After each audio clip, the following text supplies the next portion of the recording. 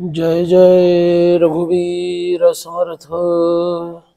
शुका सारिखे पूर्ण वैराग्य ज्याचे वसिष्ठा परिज्ञान योगेश्वराचे कवी वाल्मिका सारिखा मान्यैसा नमस्कार माझा सद्गुरु रामदासा।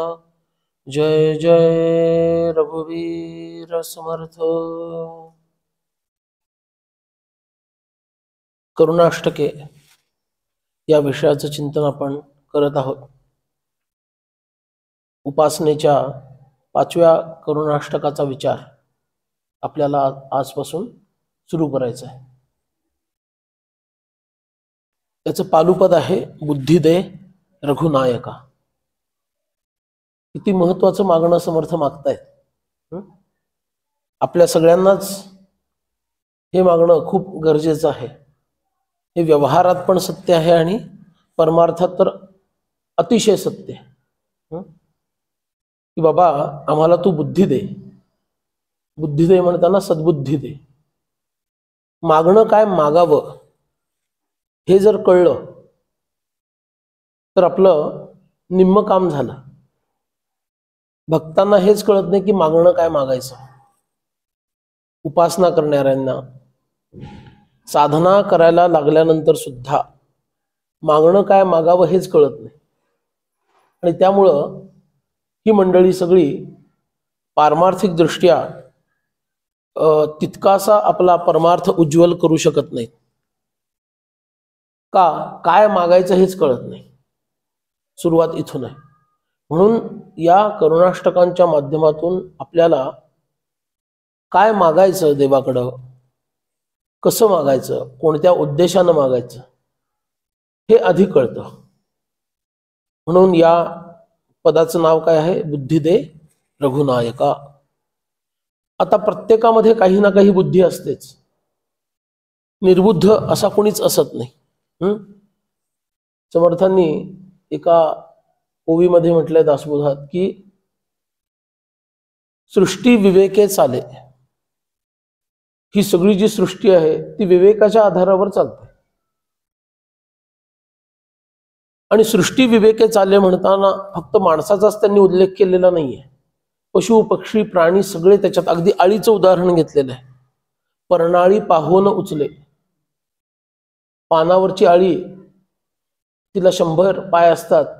ती आपला प्रत्येक पाय लक्षपूर्वक उचलते. सृष्टी विवेके चाले. आणि ते पुढे म्हणतात आणि पुरुष होऊन ठकले याचं काय म्हणावे? आपण मनुष्य योनीत आलो आणि मनुष्य होऊन आम्हाला कसं वागावं हे जर कळायचं बंद झालं किंवा कळेन असं झालं तर ह्याला काय म्हणावं? बरोबर? त्यामुळं बुद्धी सगळ्यांना आहे. इथं बुद्धीचं मागणं मागताना सद्बुद्धी हा विचार केला पाहिजे. की मला सद्बुद्धी द्या चांगली बुद्धी द्या. स्वतःचं आणि शक्य झालं तर इतरांचं. कल्याण कशात आहे? मानवी जीवनाची धन्यता कशामध्ये आहे? इति कर्तव्यता कशामध्ये आहे? हे कळण्याची बुद्धी मला तुम्ही प्रदान करा. कारण भ्रष्टाचार करणाऱ्यांकडं आपल्यापेक्षा जास्त बुद्धी असते. असते ना? ते भ्रष्टाचार करतात आणि तो पचवतात. बरोबर आहे? इतकी त्यांच्याकडे बुद्धी असते. सगळी व्यवस्था लावून ठेवतात. कशा पद्धतीनं आपला भ्रष्टाचार उघडकीस येणार नाही? अगदी आरक्षित दलापासून म्हणजे पोलिसांपासून ते पुढं न्याय व्यवस्थेपर्यंत आणि त्यानंतर हा प्रसार माध्यमांचा विषय मीडिया ठीक आहे? राजनेते सगळ्यांपर्यंत त्यांची पोहोच बरोबर असते. हे करायला सामान्य माणसाची बुद्धी पुरेशी नाहीये. खूप अचाट बुद्धी त्याला लागते. साधी सुधी बुद्धी पुरेशी नाहीये अचाट बुद्धी लागते. आणि धैर्य पण लागतं हे सगळं करायला. पण अशी बुद्धी मग हवी आहे का आपल्याला? निश्चितच नाही हवी. का नाही हवी? कारण त्याच्यामध्ये स्वतःचंही अकल्याण आहे आणि इतरांचंही अकल्याण आहे. त्यामुळे इथं बुद्धिदे रघुनायका म्हणताना मला तुम्ही टॅलेंटेड बनवा. सध्याच्या भाषेत बोलायचं तर. हं? असा भावार्थ मुळीच नाही. मला तुम्ही स्मार्ट बनवा.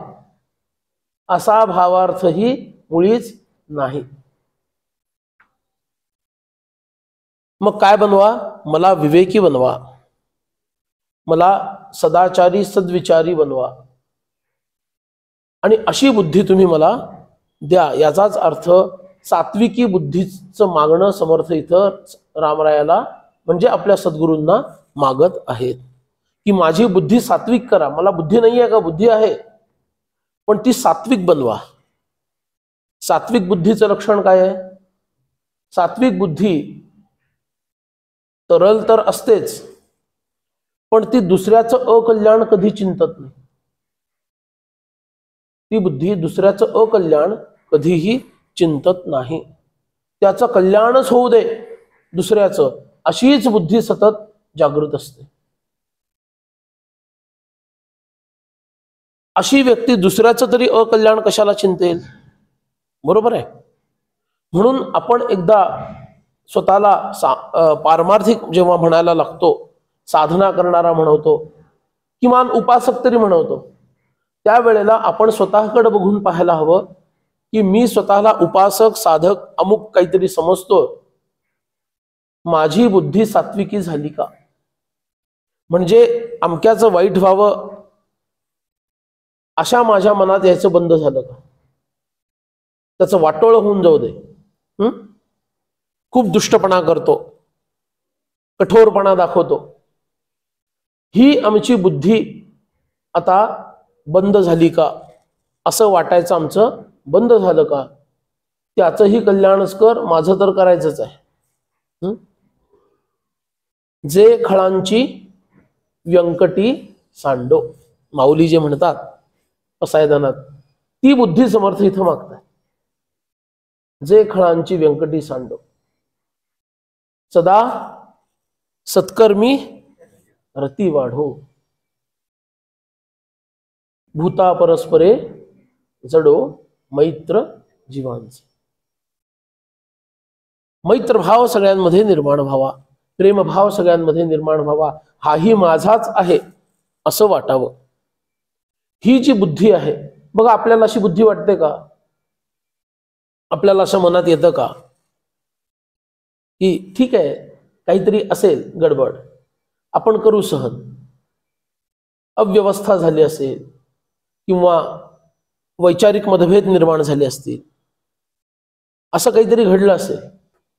पण त्याच्यातून मैत्रभाव माझा प्रेमभाव इतरांबद्दलचा जागृत आहे का? तुम्ही प्रपंचामध्ये असता तेव्हा शेजाऱ्याबद्दलची भावना काय? काही ना काही कमी जास्त कायम शेजाऱ्यांचं होत राहत. त्याचं भलं होवं असंच वाटत राहणं.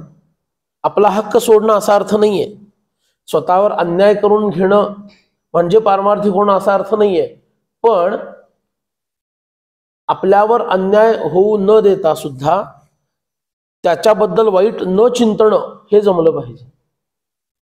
एखाद्याबद्दल वाईट न चिंतता पण त्याच्याशी विरोध कर जर गरज असेल तर विरोध सुद्धा तुम्ही पत्करायला कारण तुम्ही प्रपंचात आहात. पण तो विरोध तुम्हाला त्यांचा द्वेषी बनवत नाहीये ना. हा विवेक आपल्याकडे आहे का हे बघायला पाहिजे. विषय समजतोय? की सगळं हवाई चाललेलं आहे? समजतोय. कारण विरोध करताना द्वेष निर्माण होण्याची संभावना खूप जास्त असते. बरोबर आहे ना? तो असाच आहे त्याचं अकल्याणच होऊ दे.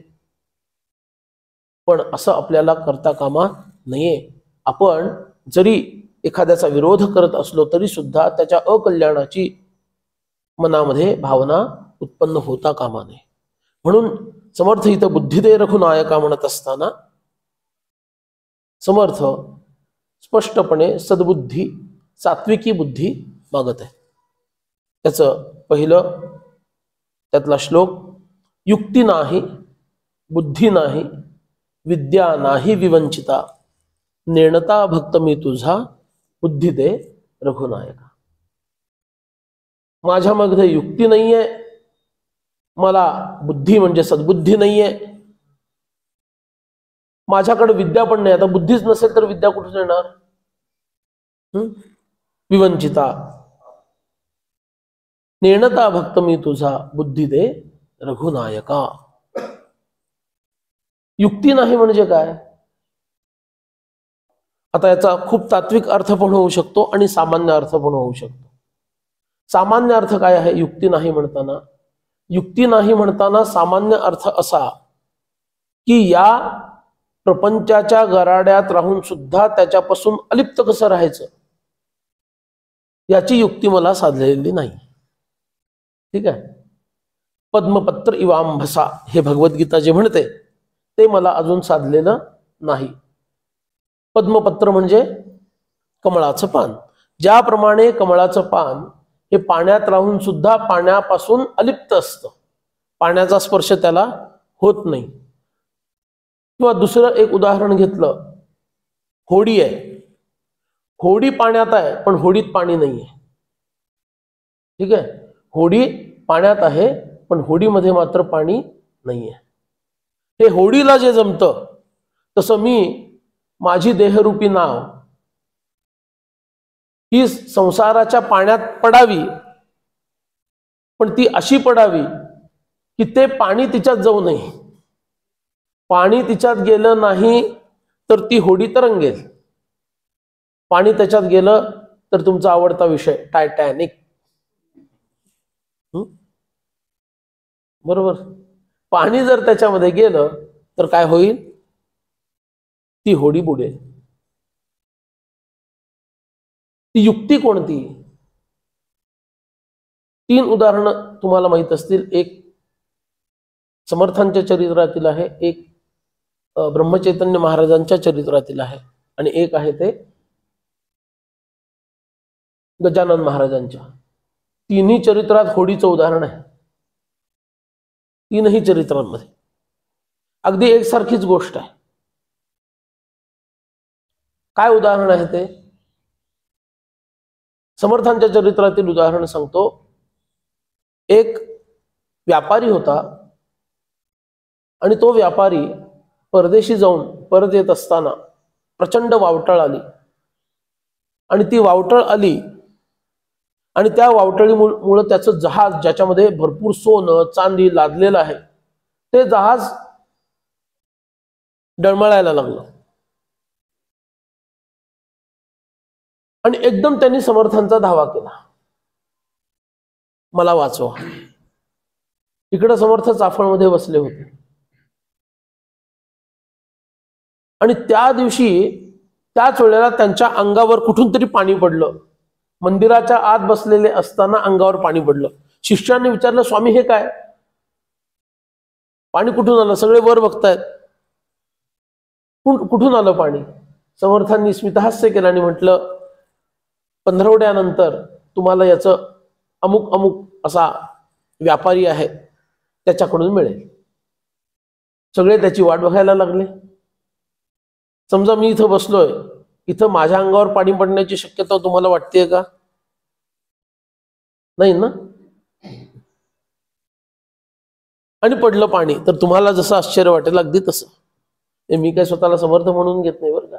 असा उद्देश नाही म्हणून घेण्याचा. तुमच्या अंगावर पाणी पडलं असं समजा. पंधरा दिवस झाले आणि तो व्यापारी तिथं आला त्यांनी दर्शन वगैरे घेतलं समर्थांचं दर्शन घेतलं. आणि मग शिष्यांनी विचारलं स्वामी ते विचारायचं होतं. विचारा म्हणा अमक्या अमक्या दिवशी म्हणजे त्यावेळेला तिथीच सांगितली इतक्या इतक्या घटकेला आम्ही इथं सत्संगाला बसलेलं असताना मंदिरामध्ये समर्थांच्या अंगावर पाणी पडलं. कुठून आलं कळलं नाही. समर्थ म्हणाले तुम्ही त्याचं उत्तर द्या. तेव्हा त्यांनी उत्तर दिलं खरं आहे त्याच वेळेला मी वादळामध्ये अडकलो होतो. माझी नाव पूर्णपणे वादळात अडकली होती. आणि आता नावे सकट मी बुडणार अशी माझी मनोदशा निर्माण झाल्यानंतर एकदम मी समर्थांचा धावा केला. आणि तो धावा केला आणि मला थोड्या वेळानंतर असं दिसलं की एक अजस्र असं रूप घेऊन समर्थ तिथं आलेले आहेत. आणि त्या वादळामध्ये माझी नाव धरून ते किनाऱ्याला लावत आहे. असं मला दृश्य दिसलं. आणि नंतर किनाऱ्याला नाव लागल्यानंतर ते अंतर्धान पावले. म्हणजे ते विराट रूप जे होतं ना ते सगळं अंतर्धान पावलं. अगदी तशीच गोष्ट ब्रह्मचैतन्य महाराजांची. आहे नदी बुडत असताना त्याला पाणी आत लागतं आणि महाराज तिथं उभे राहतात. आणि सगळ्यांचे प्राण वाचतात. गजानन महाराजांना नर्मदेकडे न्यायचं असतं ते येत नाहीत. हेच सगळे हट्टाने जातात. आणि नाव नदीमध्ये सापडते. बुडणार असते. त्यांनी महाराजांचा धावा केला आणि महाराजांनी त्यांना गजानन महाराजांनी वाचवलं. याचा अर्थ ह्या भक्तांकडे युक्ती होती. या भक्तांकडे युक्ती होती. कोणती युक्ती होती? आपण जर या भीषण परिस्थितीमध्ये अडकलो तर आपल्या सद्गुरु माऊलीचा धावा आपल्याला करता आला पाहिजे. हे सामान्य लक्षण जे नदीमध्ये बुडण्याचं आहे. पण आपण तर संसाराच्या नदीमध्ये नाही समुद्रात आहोत. आणि या समुद्रामध्ये आपल्याला आपण होडी न बनवता एक तराफा बनवलेला आहे. आता तराफा हा नदीच्या तुलनेनं बुडण्याची शक्यता जास्त आहे. कारण नदी या नावेच्या तुलनेनं बुडण्याची शक्यता जास्त आहे. कारण का? नाव ही कशी आहे? त्याला एक आकार आहे विशिष्ट. बरोबर? आणि तराफा मात्र नुसताच असतो. तो एकदा का वेगात त्या नदीच्या प्रवाहात लागला तरी बुडू शकतो किंवा काही वावटळ आलं तरी बुडण्याची भीती असते. पण या नावेचं तसं नाही. त्याच्यामध्ये जोपर्यंत पाणी जात नाही तोपर्यंत ती ना- ती नाव बुडत नाही. आपण नरदेहामध्ये आल्यानंतर जर युक्तियुक्त झालो तर आपली तराफाची आपण नाव बनवली असं म्हणू शकतो. त्या तराफ्याची आपण नाव बनवली ज्यानं तरण्याची क्षमता वाढली. बुडण्याची शक्यता कमी केली. आणि ती युक्ती म्हणजे योग वासिष्ठानं सांगितलं संसारोत्तरण युक्ती योग शब्देन कथ्यते. संसारातून तरुण जाण्याची युक्ती म्हणजेच योग आहे. योग म्हणजे दुसरं काही नाही. असं रामरायांचे सद्गुरू वसिष्ठ महामुनी म्हणतात. काय म्हणतात? संसारातून तरुण जाण्याची युक्ती मला साधणं म्हणजेच काय आहे? योग आहे. म्हणजे समर्थाने इथं जे युक्ती नाही असं म्हटलं ना त्याच्यात त्या योगाचीच अपेक्षा आहे. कारण संतांचे शब्द सामान्य जरी दिसत असले तरी त्याच्यामध्ये गहन अर्थ निहित असतो. आणि म्हणून युक्ती नाही म्हणताना मला तो विशेष योग प्राप्त व्हायला हवा की जो योग मला संसारातून तरुण नेण्यास समर्थ बनवेल. असा योग आम्हाला प्राप्त करायचा आहे. पुढे ते म्हणतायत बुद्धी नाही. बुद्धी नाही म्हणताना सद्बुद्धी नाही. ज्याचं चिंतन आपण मगाशी सुरुवातीलाच केलं की सद्बुद्धी नाही याचा अर्थ स्पष्ट आहे की मी अजून सात्विक झालेलो नाही. माझ्यामध्ये रागद्वेषांचं प्रमाण खूप जास्त आहे. माझ्यातील रागद्वेष मला कमी करता आले पाहिजे. जितकी आसक्ती जास्त तितका द्वेष जास्त. जितकी आसक्ती कमी तितका द्वेष कमी.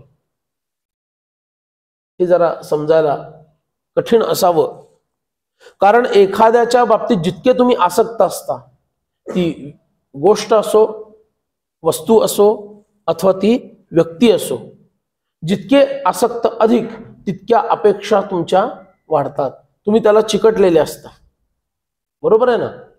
ती आसक्ती जर कमी व्हायला लागली तर आपोआपच द्वेष सुद्धा म्हणजे त्याच्या विरुद्ध घडणाऱ्या घटनेबद्दलचा प्रतिकूल भाव तो सुद्धा कमी व्हायला लागतो. द्वेष म्हणजे काय आहे? दुसऱ्याबद्दलचा प्रतिकूल भाव. ठीक आहे म्हणजेच द्वेष आहे. तो सुद्धा कमी व्हायला लागतो. जर आसक्ती कमी व्हायला लागली तर द्वेषभाव सुद्धा कमी व्हायला लागतो. आणि म्हणून माझ्यातील रजोगुण तमोगुण जर कमी झाले तर आपोआप माझी बुद्धी काय होणार आहे? सात्विक होत जाणार आहे. तरल होत जाणार आहे. म्हणून समर्थ इथं मागणी मागतायत की हे रामराया माझी बुद्धी तू काय कर? सात्विकी बनव ज्याप्रमाणे भरतांबद्दल रामरायांच्या मनात काही नाही. कैकेयी मातेबद्दल सुद्धा त्यांच्या मनात काहीही नाही. अरे काही क्षणांनंतर राज्याभिषेक व्हायचा आहे. पण सांगण्यात आलं की तुला वनाला जायचं आहे का? माझ्या मुलाला मला युवराज बनवायचं आहे आता कोणत्याही माणसाच्या मनामध्ये अशा परिस्थितीमध्ये कोणता विचार येईल? ज्याचा याच्याशी संबंध सुद्धा नाही त्याच्याबद्दल सुद्धा मनामध्ये द्वेष येईल ना? त्याच्यामुळं मला मनात जावं लागतंय. तो त्याच्यात किती संलिप्त आहे म्हणजे सोप्या मराठीत म्हणायचं तर इन्व्हॉल्ड आहे. तो त्याच्यात किती संलिप्त आहे? हे न पाहता स्वाभाविकपणे माझ्या हृदयातील जो रजोगुणात्मक भाव आहे तमोगुणात्मक भाव आहे त्याच्या प्रभावामुळं मला त्या व्यक्तीबद्दल की जो याच्यात जोडलेला आहे की नाही हेही मला माहिती नाही. माझ्या मनामध्ये त्याच्याबद्दल द्वेष निर्माण होतो. त्याचा काही संबंध नसतो. तरी सुद्धा. एक उदाहरण बघू म्हणजे लक्षात येईल. अमका अमका एक कोणी व्यक्ती तुम्हाला तमक्या तमक्या कुठल्या तरी व्यक्तीबद्दल अमकं ढमकं असं काहीतरी सांगून टाकतो. ठीक आहे? तो तुला असं म्हणत होता. तो तुला असं म्हणत होता. की जे मला प्रतिकूल आहे. असं जर मी ऐकलं तर पहिली प्रतिक्रिया आतमध्ये काय उमटते? माझ्या चित्तामध्ये पहिली प्रतिक्रिया त्या व्यक्तीबद्दल काय उमटते? पहिली प्रतिक्रिया जर अशी उमटत असेल की तो असं बोलेल असं मला वाटत नाही हा म्हणतोय आपण ऐकून घेऊ. तर गोष्ट वेगळी. पण पहिली प्रतिक्रिया जर अशी उमटत असेल असं बोलतो माझ्याबद्दल? आता दाखवतोच याला इंगा. अशी जर प्रतिक्रिया माझ्या मनात उमटत असेल तर याचा अर्थ मी रागद्वेषानं लिप्त आहे. का? कारण ह्या व्यक्तीनं असं म्हटलं पण त्यानंतर मी त्याची शहानिशा केली का? की अरे अरे मी अमक्या अमक्याकडून असं ऐकलं की तू माझ्याबद्दल असा दुर्भाव व्यक्त केलास. ते खरं की खोटं? किंवा कशामुळे तू असं केलंस? हे विचारल्यानंतर त्याने जर उत्तर दिलं हो मी तसं बोललो होतो आणि ह्या या कारणाने किंवा नाही बोललो होतो त्यानंतर मी माझं मत बनवणं त्याच्याबद्दलचं. हं? आणि तेही काय बनवायचं हा परत वेगळाच विषय आहे. तेवढ्या पुढे जात पण नाहीये मी. पण माझ्या मनात पहिला विचार काय आला तो मला असं बोलला हे मी भलत्याकडून ऐकलं. समक्ष ऐकलं नाही. आणि माझ्या मनामध्ये काय विचार आला? हे आपण तपासून बघायला हवं. मी जर शांत मनोवृत्तीचा असेल स्थिर बुद्धीचा असेल तर माझ्या मनामध्ये पहिल्यांदा असा विचार येईल तो जे मला बोलला ते खरंच खरं आहे का? हे तपासण्याचा आधी मी आज जाऊन प्रयत्न करेन. ते तपासण्याचा मी आधी आज जाऊन प्रयत्न करेन अरे हा दोष माझ्यामध्ये खरंच आहे का? आणि तो जर दोष जाणवला तर त्या व्यक्तीला मी थँक्यू म्हणेन. तुझ्यामुळं माझा दोष मला कळला. आतापर्यंत त्या दोषाकडे माझं लक्षच गेलं नव्हतं. आणि तसा जर विचार मला पटला नाही की तो जे म्हणतो ते खरं नाही बऱ्याच वेळेला आपल्या बाबतीत असंच होतं. हे हे, मी असं काही नाही? आहे जर पटला नाही तर आपण काय म्हणू? भगवंताला प्रार्थना देवा त्याच्या मनामध्ये जो काही गैरसमज आहे तो गैरसमज तुम्ही दूर करा. एक गमतीशीर गोष्ट सांगतो. म्हणजे तुमच्या लक्षात येईल. एक असेच निस्पृह व्यक्ती आणि गावोगावी कीर्तन प्रवचन अशी करायचे. आणि गमतीची गोष्ट अशी झाली की त्यांच्या बाबतीमध्ये त्यांच्याच आसपासच्या लोकांनी असं म्हणायला सुरुवात केली ह्यांना खायला मिळत नाही म्हणून हे गावोगावी फिरतात. खायला मिळत नाही म्हणून हे गावोगावी फिरतात. आणि त्याच्यात त्यांना रुचकर. आता जिथं जातील तिथं कथा असेल प्रवचन असेल कीर्तन असेल हम्म किंवा अजून काही सत्संग असेल तर त्या ठिकाणी त्यांची रेलचेल असणार. अरे महाराज आले अमुक आले तमुक आले. वा वा वा वा. किती छान. हे करू का ते करू का? बरोबर? पण त्या आसपासच्या लोकांची बुद्धी कशी काम करते त्यांना असं वाटतं की हे छान व्यवस्था होते. म्हणून सगळीकडं भटकत असतात. आता हे जेव्हा त्या व्यक्तीला कळतं त्यावेळेला ती व्यक्ती जर खरंच सात्विक असेल तर त्यांची प्रतिक्रिया काय असेल? पहिल्यांदा त्यांना पोट धरून हसू येईल. अच्छा असाही लोक विचार करू शकतात. हे तर माझ्या गावीही नव्हतं. बरोबर आहे. पोट धरून हसू येईल. रजोगुणात्मक जर ती व्यक्ती असेल त्या व्यक्तीला काय वाटेल? माझ्याबद्दल माझ्या जवळ राहतात असा विचार करतात. कदाचित समोरच्याला ते जाणवू देणार नाही. हो का? बर बर हा बघतो. आणि आतल्या आतमध्ये मग द्वंद्व सुरू. जळफळाट रात्री झोप नाही. म्हणजे असं बोलतात. आणि तमोगुणी असेल तर तिथंच फोन करून असा? कोण बोलला? सांग मला नाव सांग त्याचं. फोन करणार त्याला. आणि तिथूनच भांडायला सुरुवात. एक टिप्पणी आहे साधी.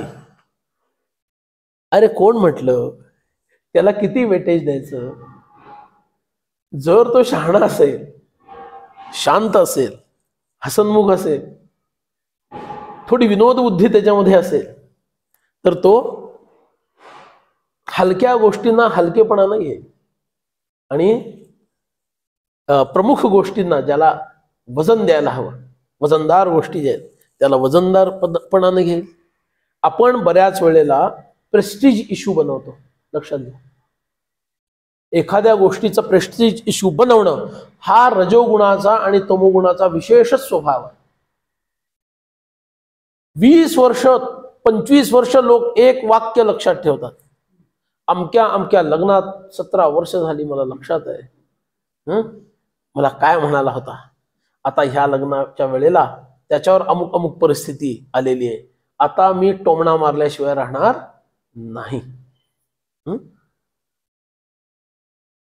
कुठल्या गोष्टींना किती महत्त्व द्यावं? आणि कुठल्या गोष्टी उडून लावाव्यात? हे कधी कळणार? सद्बुद्धी असेल तर कळणार. आणि सद्बुद्धी नसेल तर तुमचीच फरफट होणार आहे. म्हणून समर्थ इथे म्हणतात का म्हणतात ते? जेव्हा ते साधनेला लागले आपण असे एक मान्यता करून हे प्रकरण पाहत आहोत की ते जेव्हा बारा वर्षाचे होते मग बारा तेरा चौदा जे काही पुढं साधना काळ त्यांचा पुढे गेला त्या दरम्यान त्यांनी सुरुवातीच्या काळामध्ये ही पदं लिहिलेली आहेत. त्यांच्या सुरुवातीच्या साधनेच्या काळामध्ये ही पदं लिहिली आहेत आणि रामरायाला ते आपलं हृदगत त्याच्यासमोर व्यक्त करत आहे बरोबर आहे ना?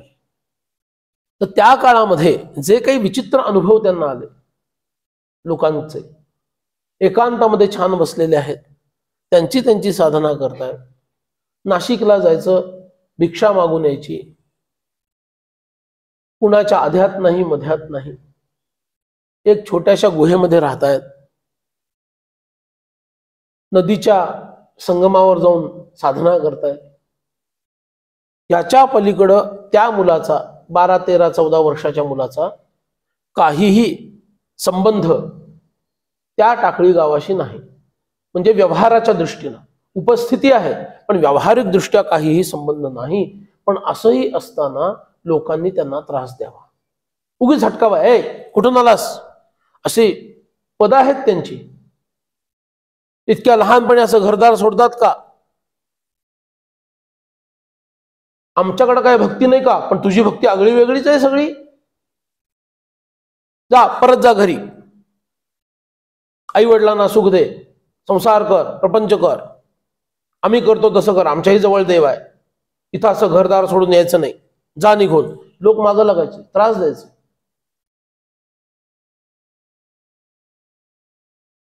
तेव्हा अशा परिस्थितीमध्ये या मुलाने काय करावं? त्याच्या मनामध्ये किती खळबळ उडत असेल किती त्रास त्यांना सहन करावा लागत असेल त्या एका स्थितीमध्ये त्यांनी हे म्हटलेलं आहे की माझं मन स्थिर का होत नाही रामराया हे लोक मला त्रास देत आहेत. आणि तूच सांगितलेलं आहेस की जो मनानं शांत आहे क्षमाशील आहे तोच माझ्यापर्यंत पोहोचू शकतो. बरोबर आहे ना? विद्या विनयेन शोभते. तो येणार आहे पुढे विषय. विद्या नाही विवंचिता. तो विनय माझ्यामध्ये का आला नाही?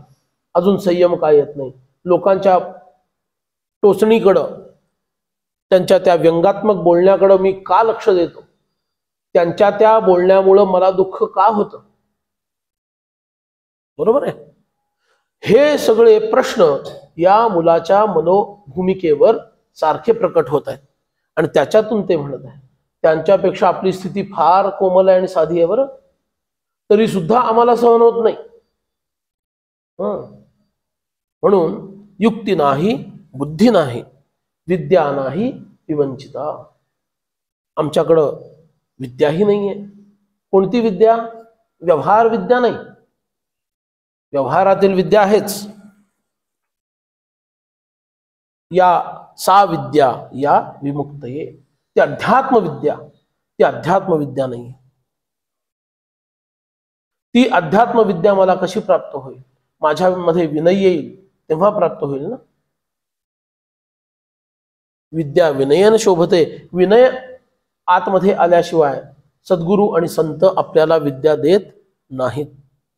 त्या विद्येची प्राप्ती जोपर्यंत हा शरणागत आहे हे जोपर्यंत दिसत नाही तोपर्यंत सद्विद्येची प्राप्ती होत नाही. अर्जुनाला भगवंतानी विद्या दिली. पण तरीही तो त्या जन्मात मुक्त होऊ शकला नाही. पुन्हा नंतर गीता सांगावी लागली त्याला अनुगीता म्हणून नाव आहे. ही आहे ही भगवद्गीता. त्याला फक्त युद्धासाठी तयार करायचं होतं. त्यानं युद्धासाठी उभं राहावं म्हणून त्याला ती विद्या सांगितली. ती गहन विद्या आहे त्यात काही वादच नाही. पण तरी सुद्धा तो काही आत्मनिष्ठ झाला नाही. ब्रह्मनिष्ठ त्या विद्येनं झाला नाही. म्हणून त्यांनी पुन्हा म्हटलं भगवान जेव्हा परत निघाले द्वारकेला युद्ध संपलं आणि सगळं त्यावेळेला आता हे कृष्णा तू निघालाच आहेस तर तू मला पुन्हा ती विद्या सगळी सांग माझ्या स्मरणात राहिली नाही. भगवंताला ते आवडलं नाही. महाभारतामध्ये भगवंताने अर्जुनाचे कान उपडले असे भगवंताचे शब्द आहेत कठोर. हे शक्यतो कोणी सांगत नाही. कारण महाभारत कोणी ऐकतच नाही. हा मोठा प्रश्न आहे. भगवंताने कठोरपणे अर्जुनाला म्हटलं अरे इतकी गहन विद्या मी तुला सांगितली ती योगयुक्त होऊन सांगितली होती. ते ज्ञान जसंच्या तसं आता मला नाही सांगता येणार. त्या विशिष्ट अवस्थेमध्ये जाऊन मी योगयुक्त अवस्थेमध्ये पोहोचलो आणि त्या स्थितीमध्ये जाऊन तुला ती विद्या सांगितली. आता ती जशीच्या तशी तुला सांगता येणार नाही. आणि भगवान रागवले त्याला म्हणाले तुझा रजोगुण आणि तमोगुण वाढलेला आहे त्यामुळे तुझं स्मरण कमी झालंय. भगवान भगवंताचे शब्द आहेत तुला बुद्धिमांद्य झालेला आहे. काय शब्द आहे? बुद्धिमांद्य. म्हणजे बुद्धी गंजली आहे तुझी. बुद्धी मंद झाली तुझी. बघा किती भगवंताला किती राग आला? भगवद्गीता इतकी सांगितली आणि ती ग्रहण पूर्णपणे केली नाही. कारण ती ग्रहण केली असती तर त्याचे विचार करत करत ध्यान ध्यानाचा अभ्यास अर्जुनांनी केला असता नंतर. आणि नंतर त्याला सद्गती प्राप्त झाली असती. सद्गती म्हणजे काय? निर्वाणच प्राप्त झालं असतं. पण बुद्धिमान्य झाल्यामुळं ते लक्षात आलं नाही. तरी सुद्धा माझा सखा आहे. या मनोभूमिकेतून निघायची घाई असताना सुद्धा भगवंतानी थोडा जास्त वेळ काढला. आणि त्याला अनुगीता सांगितली. तिला अनुगीता असं म्हटलेलं आहे महाभारतात. म्हणून विद्या प्राप्त करायची असेल तर जोपर्यंत पूर्ण शरणागती येत नाही जोपर्यंत बुद्धी सात्विकी होत नाही तोपर्यंत आमच्यामध्ये विद्या ग्रहण करण्याचं सामर्थ्य येत नाही. आणि तीच गोष्ट समर्थ इथं रामरायाला सांगतायत विद्या नाही विवंचिता. मी कितीही जरी विचार केला तरी माझ्यामध्ये विद्येचा लवलेश आहे असं मला वाटत नाही. का नाही? कारण युक्ती नाही बुद्धी नाही. विद्या कुठून येणार? आपण आज विचार करायचा आहे की माझ्यामध्ये विद्येचा किती अंतर्भाव झालेला आहे? तुमच्या लक्षात येईल आपल्याकडं अविद्या भरपूर आहे. विद्या थोडी सुद्धा नाही. का? कारण आमच्यामध्ये ते वैराग्य जागृत झालं नाही. तो विवेक जागा झाला नाही. आणि आम्हाला मात्र वाटतं की आम्हाला विद्या असायला हवी.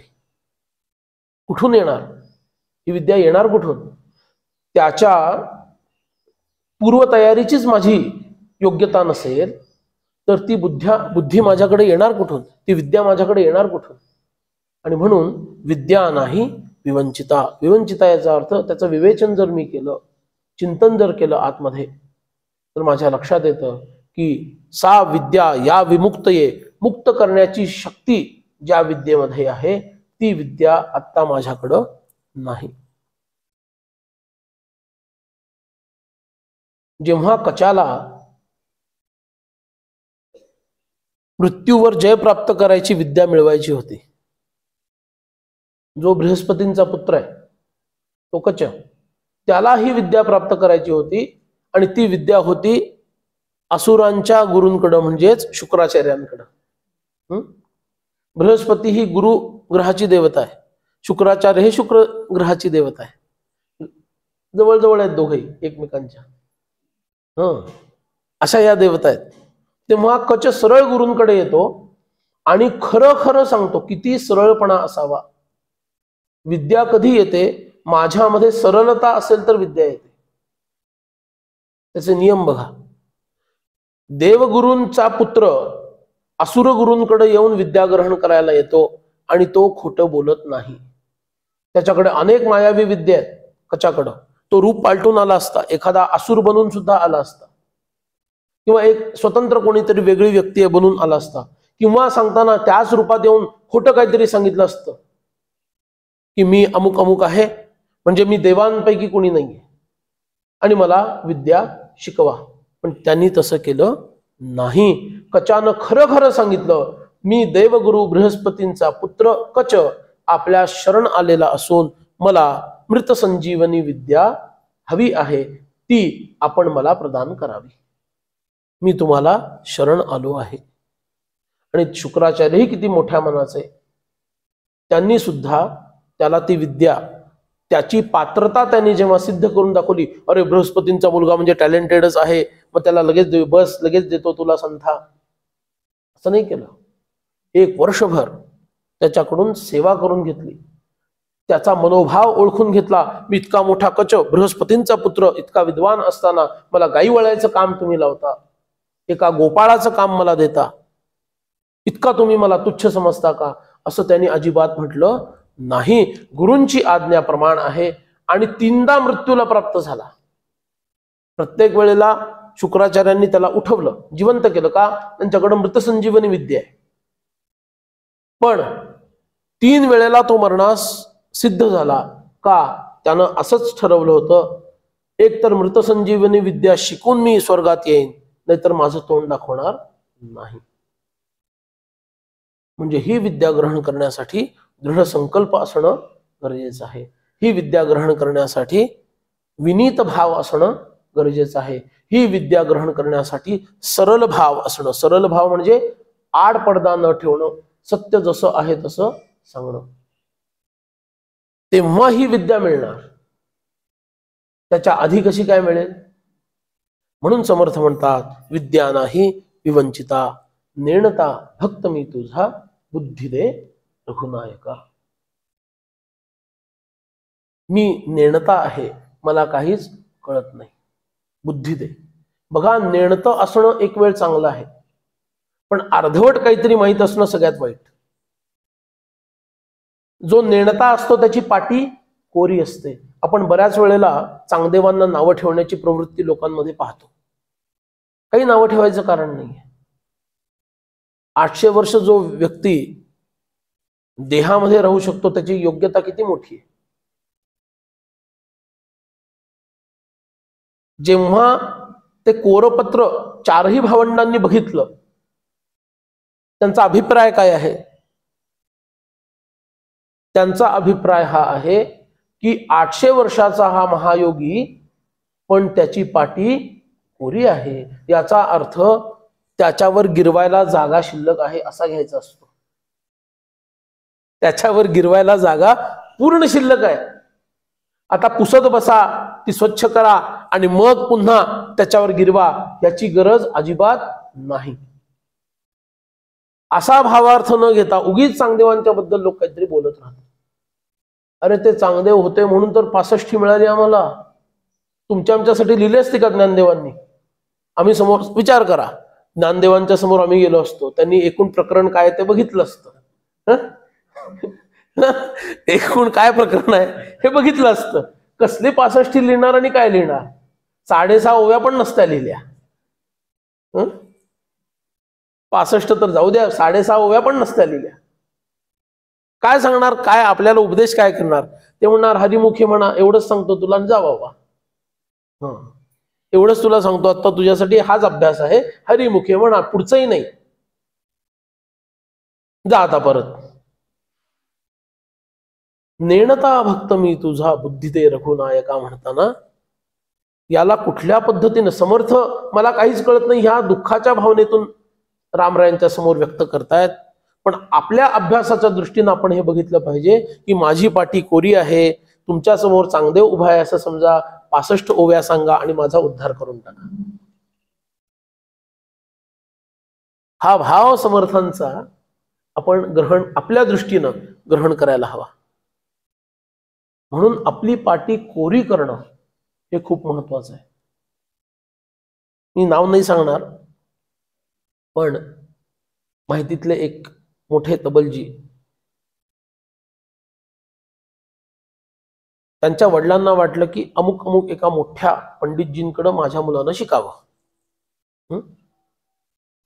आणि तो मुलगा आधी काही पाच सात वर्ष शिकला होता. आणि त्या पंडितजींकडे ते गेले. सुरुवातीला तर त्यांनी नाही नाही नाही असंच केलं. मी शिकवणार नाही. जुन्या काळातील गोष्ट आहे. कारण पूर्वीचे गुरु कडक होते. त्यामुळं विद्या पण कडक होती. हा. साधी सुधी नव्हती. त्याला धार होती अशी. आता काय रियालिटी शो मध्ये गायला मिळालं वाजवायला मिळालं तरी झालं का? अशी परिस्थिती आहे. जाऊ दे. पण कसं बसं करून त्यांनी त्या पंडितजींना आपलंसं करून घेतलं आणि नंतर त्यांनी विचारलं तुझ्या मुलाला शिक वाजवायला येतं का? तबला. ते म्हणाले हो इतकी इतकी वर्ष अमुक अमुक ठिकाणी शिकलाय. बसवा म्हणाले. एक दहा पंधरा मिनिटं वेगळं वेगळं वाजवून घेतलं. ठीक आहे बास म्हणाले थांब आता.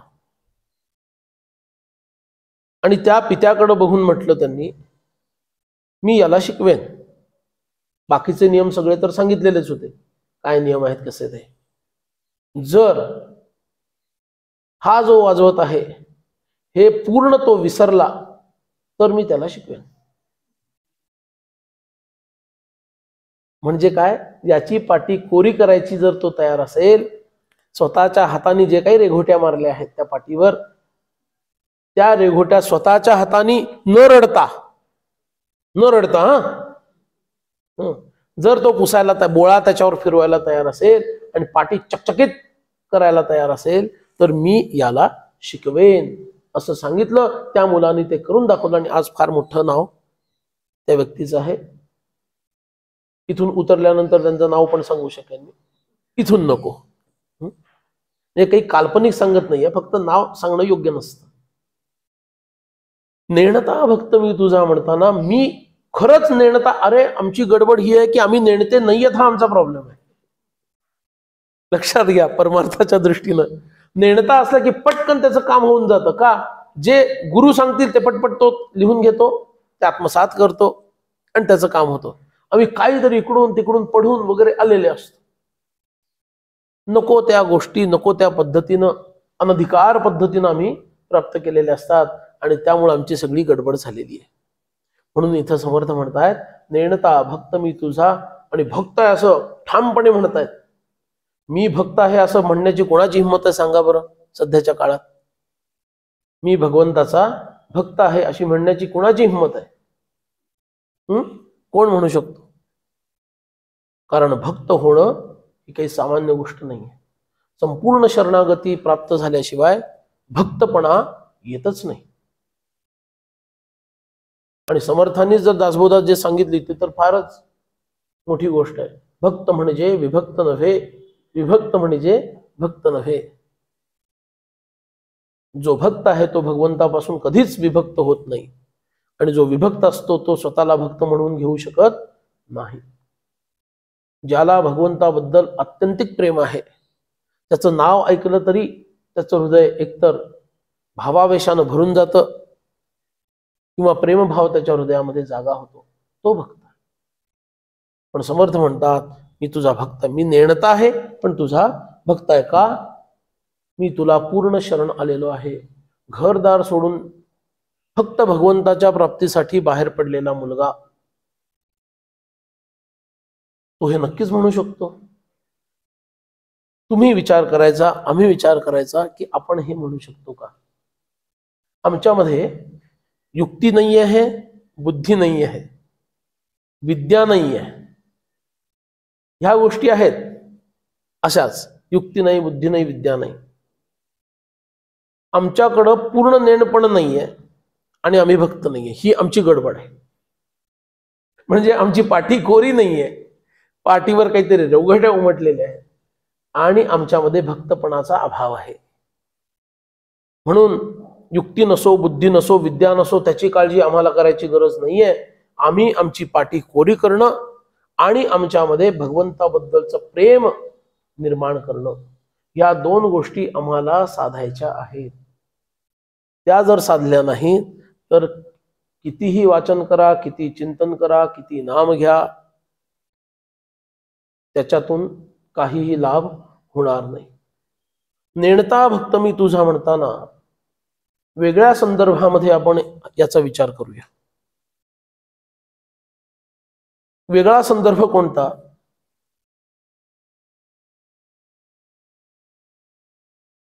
नीट न जाणता जर आम्ही साधन केलं तर त्याचा परिणाम काय आहे?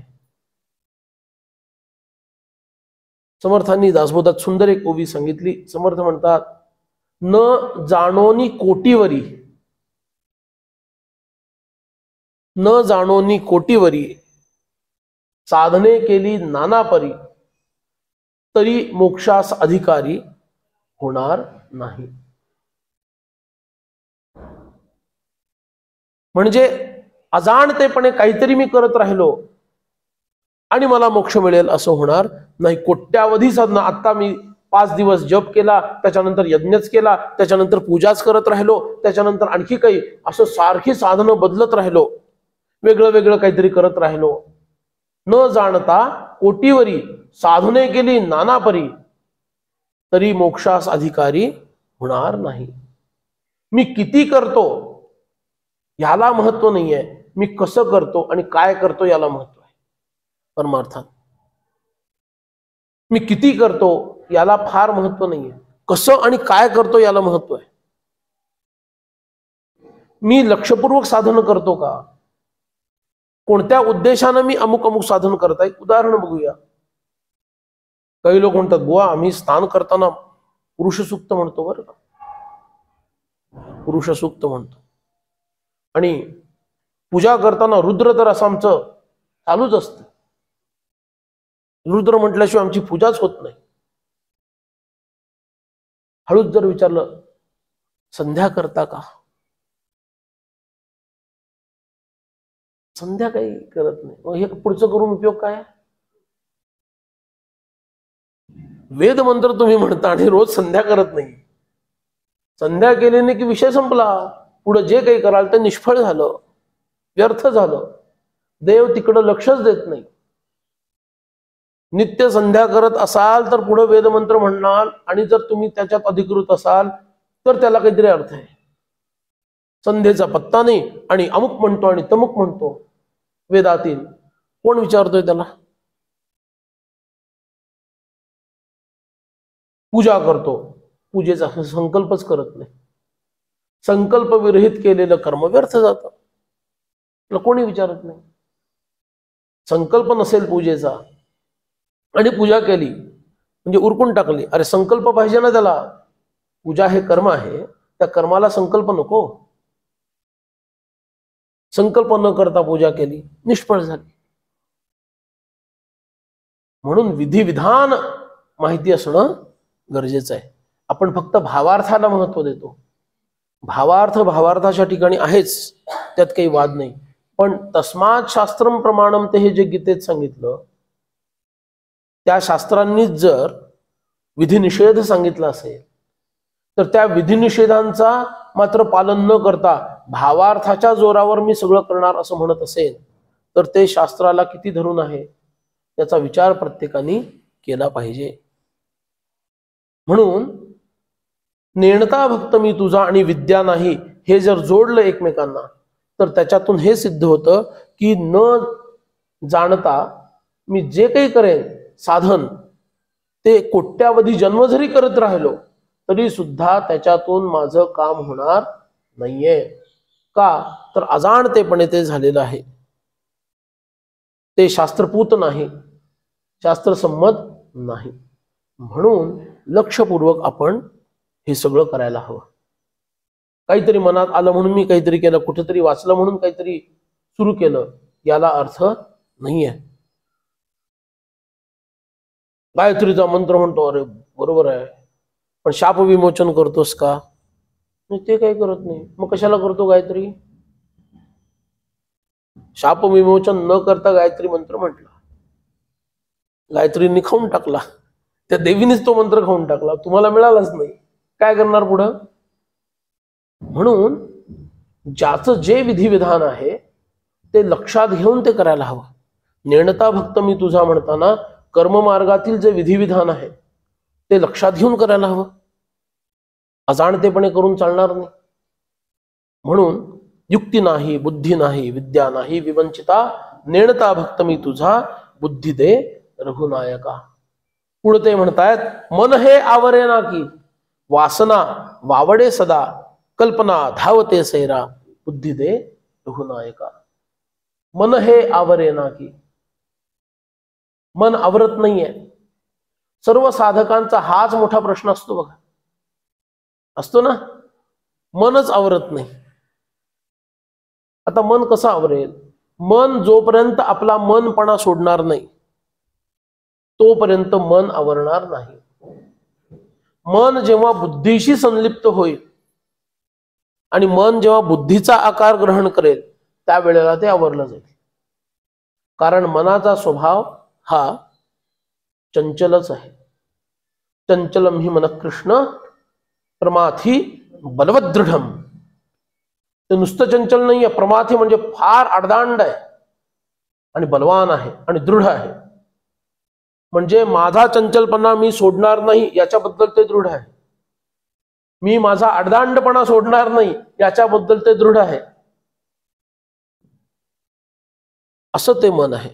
त्याला जर आवरायचंच असेल तर त्याला बुद्धीची जोड देऊन त्या अहम आणि मनाला बुद्धीमध्ये लय करावा लागेल. तेव्हा मन आवरतं. जे ज्यांचं मन नियंत्रणात असतं संयमी असतं ते कायम विवेकानं काम करणारे लोक असतात. का? कारण बुद्धीमध्येच ते मन आकर्षित झालेलं असतं. इंद्रियांकडं नाही.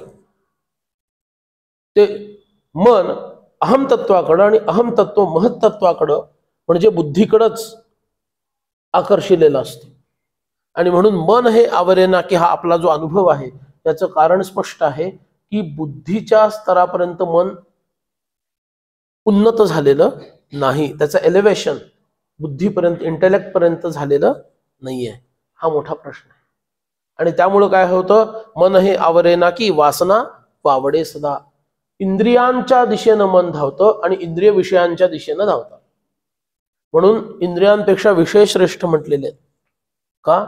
कारण ते इंद्रियांना बहिर्मुख करतात. विषयच इंद्रियांना बहिर्मुख करतात ना. विषय बाहेर आहेत की आत आहेत? विषयांचा स्पर्श कुठून होतो? बाहेरून होतो. बरोबर? आणि आतमध्ये प्रतिमा उमटते. तो बाहेर विषयांशी एकाकार होतो इंद्रिय ग्रहण करतो विषय आणि प्रतिमा कुठून उमटते? अंतःकरण जे आतमध्ये आहे त्याच्यात ती प्रतिमा उमटते. बरोबर?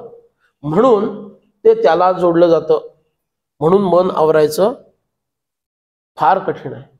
एक उदाहरण सांगतो म्हणजे लक्षात येईल. पुरंदर नावाचा एक ब्राह्मण होता. आणि हा विद्वान होता. त्याला एक पुत्र झाला. त्याचं नाव त्यांनी ठेवलं माधव.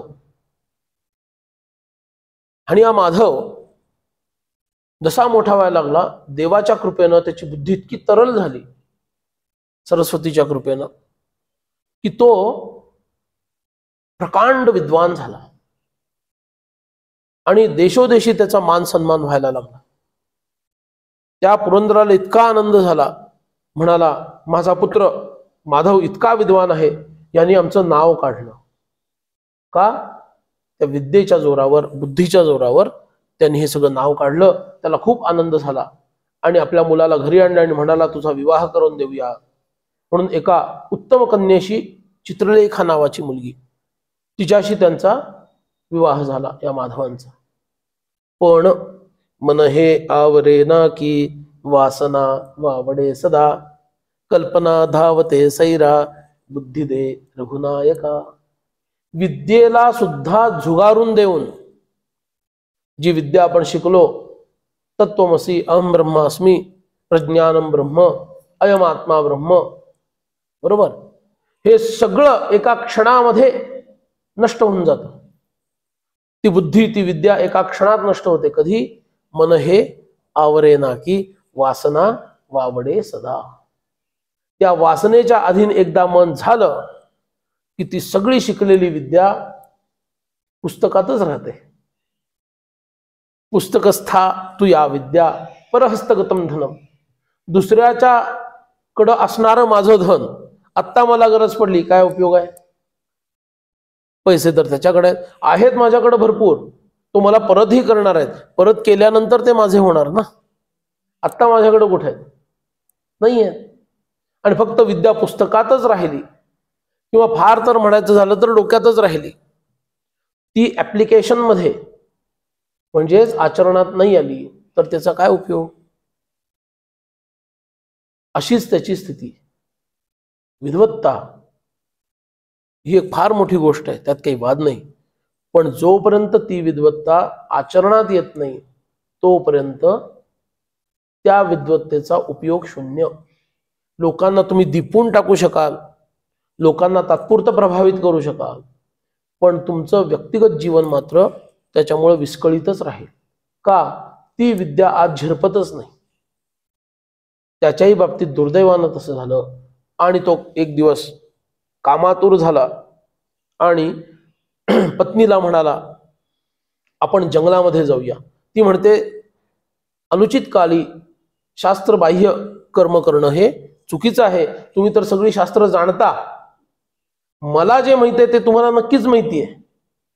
असं असताना तुम्ही दिवस काळामध्ये हे कर्म मला करायला भाग पाडत आहात हे अनुचित आहे. तर असं करू नये. तो अजिबात ऐकायला तयार नाही. का तयार नाही? कारण इंद्रिय विषयाधीन झाली. बरोबर आहे? मन हे आवरे ना की वासना वावडे सदा. वासनेच्या अधीन झालेला जीव त्याची सगळी बुद्धी घाण ठेवतो. कामातुराणाम न भयम न लज्जा. असं सुभाषित आहे. जे कामातुर झाले आहेत त्यांना कुणाचं भयही वाटत नाही आणि कशाची लाजही वाटत नाही. इतका मोठा विद्वान अरे मला लोक काय म्हणतील? छिथू होईल. पण तिकडं त्यांचं लक्ष जात नाही. नको रे मना. अरे मना ही वासना फार वाईट आहे. मना वासना दुष्ट कामा नाही रे मना सर्वथा पाप बुद्धी नको रे मना धर्मता नीती सोडू नको हो मना अंतरी सार विचार राहो. तो सार विचार म्हणजेच सद्बुद्धी जर असेल तर वासनेचा धुमाकूळ जरी असला काही कारणामुळं तरी सुद्धा सद्बुद्धीच्या जोरावर तुम्ही त्या वासनांच्या धुमाकुळावर विजय प्राप्त करू शकता. पण सद्बुद्धी नसेल तर तो विजय प्राप्त होत नाही. आणि ती सद्बुद्धी येण्यासाठी गुरूंची कृपा लागते किंवा तुमची दृढ उपासना लागते की जी दृढ उपासना ती देवता तुमचे पाठराखण करते. किती अशी उदाहरणं आहेत. अहल्येचं उदाहरण आहे. गणेश पुराणामध्ये बघितलं अहल्येचं उदाहरण अनेक ठिकाणी गणेश पुराणात पण आलेलं आहे. रामायणात तर आहेच. अहल्येचं मन विचलित झालं. मुकुंदेचं उदाहरण आहे गणेश पुराणामध्ये. त्या सुंदर राजकुमाराला बघून मुकुंदेचं मन विचलित झालं. किती अशी उदाहरणं सांगता येतील. ही काही सामान्य लोक नव्हती. ही सगळी विद्वान लोक होती. पण तरी सुद्धा त्यांना ती वासना आवरता आली नाही याचं कारण सद्बुद्धीचा प्रसाद त्यांना प्राप्त नव्हता.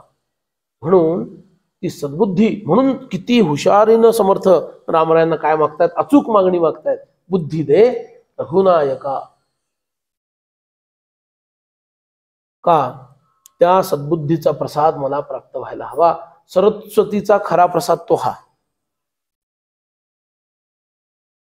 कुणाच्याही जीवनामध्ये कधीही वासनांचा धुमाकूळ असू शकतो जोपर्यंत तुम्ही आत्मनिष्ठ होत नाही आत्मज्ञान तुम्हाला होत नाही तोपर्यंत प्रत्येकाच्या जीवनात काही ना काही वासना आहेतच आणि त्यांचा धुमाकूळ असणारच आहे पण जो सद्विद्येला शरण आहे जिची ज्या सरस्वतीची कृपा ज्याच्यावर आहे त्यालाच या वासनांवर जय प्राप्त करता येतो. ती चित्रलेखा म्हणते नाथ असं करू नका. तुम्ही सर्व शास्त्र जाणता. मला जे माहिती आहे ते तुम्हाला निश्चितच माहिती आहे. आणि तरी सुद्धा तुम्ही विषयाधीन होत आहात. हे उचित नाही. तो ऐकायला तयार नाही. तो तिला आज्ञा देतो. तुला पातिव्रत्य धर्माचं पालन करावंच लागेल. आणि तू जंगलामध्ये चल. तिचा नाईलाज होतो. आणि ती त्याच्याबरोबर जंगलात जाते. त्याच्याबरोबर म्हणजे एकांत प्राप्त व्हावा या दृष्टीनं जंगलामध्ये जाते. जंगलामध्ये गेल्यानंतर हिच्यापेक्षा शंभरपट अशी रूपसुंदरी असे चांडाळ वर्णाची स्त्री त्याला दिसते. आता आधीच हा क्षुब्ध झालेला आहे. त्याच्यामध्ये समोर जर अशी काही परिस्थिती निर्माण झाली तर काय होणार आहे? तो म्हणतो आता तू परत जा पत्नीला. तो म्हणतो पत्नीला परत जा. आणि ती नाईला जाणं घरी परत येते. हा त्या चांडाळणी जवळ जातो आणि तिच्याशी बोलतो. ती म्हणते तुम्ही विप्र आहात. जर माझ्याशी संसर्ग झाला तर तुम्ही यातीबाह्य व्हाल. तुम्हाला सगळे लोक हाकलून देतील. आणि तुमची विद्या वगैरे सर्व व्यर्थ जाईल. तेव्हा तुम्ही विचार करा. असं काहीतरी अनुचित कर्म तुम्ही करणं ती त्याला समजावतीये. म्हणजे तिलाही काळजी आहे याची. पत्नीला काळजी असणं तर स्वाभाविक आहे. ती तर त्याची पत्नीच आहे. पण ह्या परकीय स्त्रीला सुद्धा त्याची काळजी आहे की बाबा तू विप्रकुळातील आहेस. असं काहीतरी तात्पुरत्या कुठल्या तरी क्षणिक तुच्छ कारणासाठी आपली एवढी जीवनाची तपस्या व्यर्थ घालवू नको. पण मन हे आवरे ना की वासना वावडे सदा. ते मन ताब्यातच येत नाही. तो म्हणाला तू मला काही शिकवू नकोस. मला शास्त्र कळतं की तुला कळतं. तिचा नाईलाज झाला आणि बलपूर्वक तिच्याशी संसर्ग केला. आता ती म्हणते आता तुमची सगळी विद्या व्यर्थ गेली आहे. आता तुम्हाला माझ्या बरोबर येऊन राहावं लागेल. तो म्हणाला नो प्रॉब्लेम तुझ्या बरोबर जर राहायला मिळणार असेल तर नो प्रॉब्लेम आणि तो तिच्याबरोबर बारा वर्ष राहतो.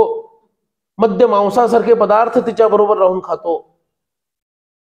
आणि हे सगळं करता करता एक दिवस हे जेव्हा यांच्या घरी कळतं त्या पुरंदराला इतकं दुःख होतं. इतकं दुःख होतं. कारण इतका विद्वान माझा मुलगा जगभरात त्याची ख्याती आहे. आणि मन आवरता न आल्यामुळे तो कुठे पोचला बघा. त्याला किती दुःख होणार पत्नीला दुःख झालं आईला दुःख झालं पण करणार काय? बारा वर्ष अशी त्याची गेली. अंधकारमय जीवन सगळं. मन न आवरता येण्याचा परिणाम. आणि नंतर बारा वर्षानंतर ही चांडाळी मरून गेली. आणि ती मेली आणि याच्यामध्ये सद्बुद्धीचा प्रकर्ष झाला. आता त्याला सगळ्या गोष्टी आठवायला लागल्या. पत्नी काय म्हणाली होती त्या दिवशी? आता आठवून काय उपयोग आहे? बारा वर्ष झाली. त्या दिवशी पत्नी काय म्हणाली होती? आणि मी कसा वागलो? एका क्षुद्र कारणासाठी मी माझी इतकी विद्वत्ता व्यर्थ घालवली. आणि त्या विद्वत्तेचा उपयोगच काय की जी विद्वत्ता तुम्हाला मनावर नियंत्रण आणू शकत नाही? म्हणून मन हे आवरे ना की वासना वावडे सदा तीव्र वासना आपला नाश करते. म्हणून ती वासना तिची तीव्रता नष्ट करणं हा सद्गुरूंच्या कृपेशिवाय वासना नष्ट होतच नाही. पण ती बोथट तरी मी माझ्या प्रयत्नानं केली पाहिजे. ती बोथट तरी मी माझ्या हा हात लढतो आहे ही वासना बोथट करण्यासाठी म्हणजे हीच वासना आहे कोणतीही वासना अन्न वासना असू दे. उदाहरण सांगतो चला आठवलंच म्हणून. श्रावण महिना चालूच आहे. ठीक आहे? कृष्ण जन्माष्टमीची गोष्ट आहे. आणि नेमकं या वेळेला गंमत बघा श्रावण सोमवारीच कृष्ण जन्माष्टमी आली. म्हणजे दुप्पट उपवास. हं? किंवा दुप्पट खाशी काही म्हणा तुम्ही. म्हणजे कुठल्याही पद्धतीने घ्या ते. असा उपवास. आता उपवास सोडायचा मंगळवारी. म्हणून एकाने काय करावं? असा तो उपवास झालेला सोमवार प्लस गोकुळाष्टमी. आता उपवास सोडायचा आहे. मित्राने सांगितलं अरे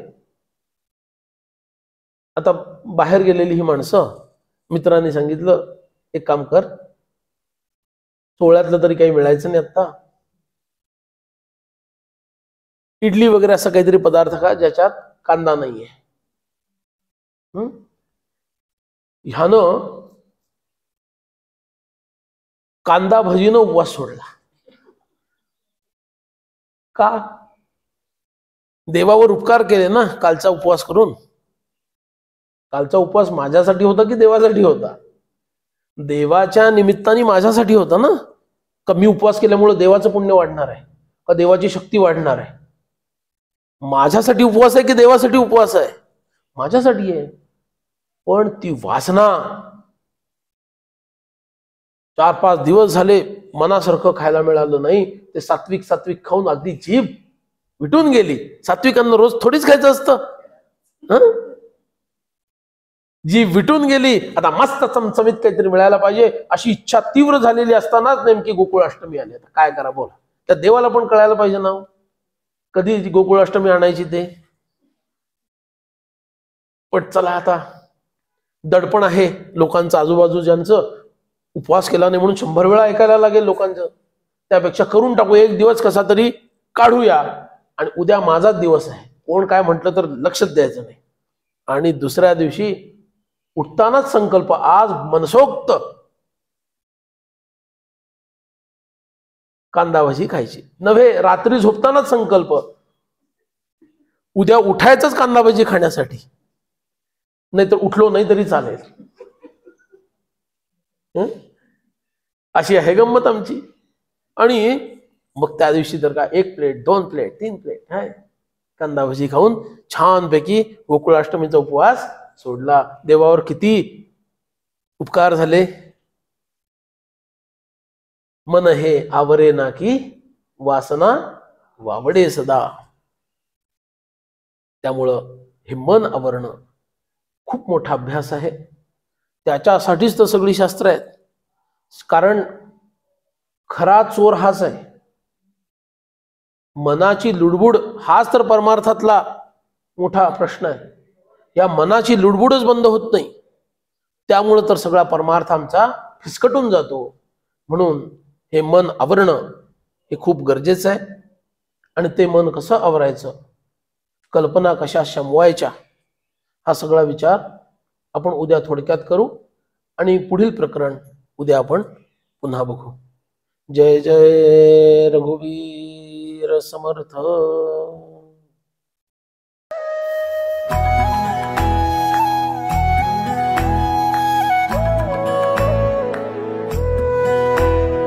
अध्यात्मावर अशीच माहिती मिळवण्यासाठी देव माझा चॅनलला सबस्क्राईब करा.